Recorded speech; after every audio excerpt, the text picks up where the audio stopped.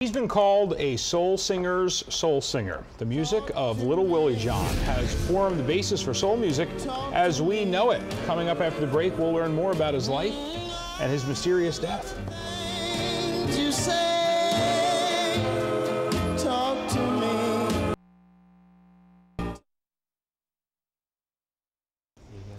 Um, we were going to play uh, a little bit of the song Fever this morning by Little Willie John. It's been covered by numerous artists, most notably by Peggy Lee, but Little Willie John is the original singer behind the track. And um, he was unjustly for, a forgotten singer whose deep blues and uh, Rockin' and rollin' and swinging ballads form the basis for what we know as soul music. His life now chronicled in a book. In studio with us this morning, um, Fever Little Willie John's Fast Life, Mysterious Death, and Birth of Soul. Joining me to talk about the book, author Susan Whitall and Little Willie John's son, Kevin. Kevin John, how are you guys? I'm good, good. We'll get all through that now. So let's talk a little bit about let's let, first of all let's talk a little bit about Willie John for people that that don't know much about him. Mm -hmm. Tell me about your dad. Well, my dad was my inspiration, musically speaking. Uh, great singer. Uh, everybody who worked with him just, just, just loved him. But he loved music. He loved a wide variety of music, and growing up in the house, we, it was music all day long.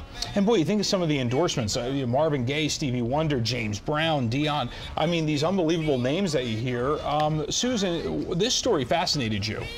Well, yeah, I mean, because a lot of those guys that you mentioned, he was the, the link between the 40s and soul music. He was the guy. He was the guy who actually set the stage for soul and for Motown.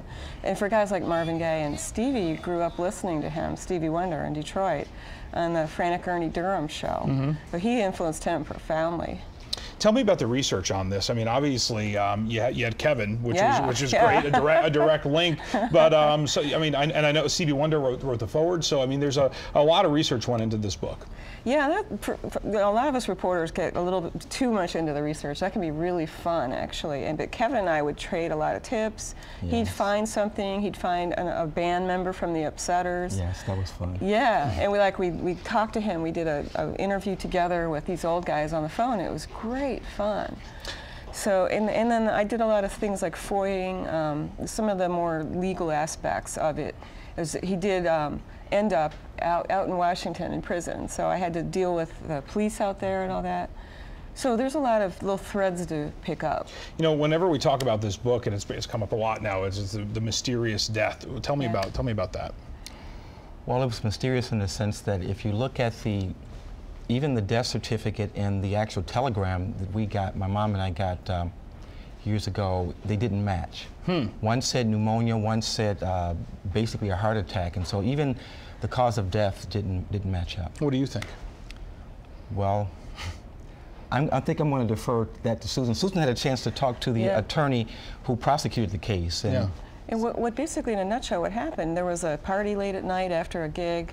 Willie liked to party. He liked to be out afterwards. Yeah. In, the, in this case, it was unfortunate, and somebody followed them, and a fight ensued, and the guy was knifed to death after he insulted a woman, and there was a, a to-do at, at this party. Wow. So the Willie was blamed, and Willie took the rap for it. Now, there were so many other things going on. This prosecuting attorney who did prosecute the case told me there were any number of issues that should have gotten him off. One of them, the confusion on who, who could have done it. Yes. There was not a lot of actual proof. But Willie's defense was, was inadequate. Yeah. It was an, an attorney who wasn't up to it. Could this be a movie? Well, we certainly hope so. It looks like it, yeah. yeah. We're getting really good reviews on the book, uh, and we appreciate being able to be on your show to talk about it. So we think, we're hoping that's going to happen. All right, so this is available uh, all over town? Yeah, we're going to be at the Southfield Library Monday, um, so people can come by there and get a signed copy at 7 o'clock, Southfield Public Library. Great. All right. Well, Kevin, it was nice meeting you, and Susan, I've always been a fan of your work, and it's nice to have you guys on today. And Fever, Little Willie John, A Fast Life, Mysterious Death, and The Birth of Soul. Pick up that book today. Thanks, guys. Taryn, over to you.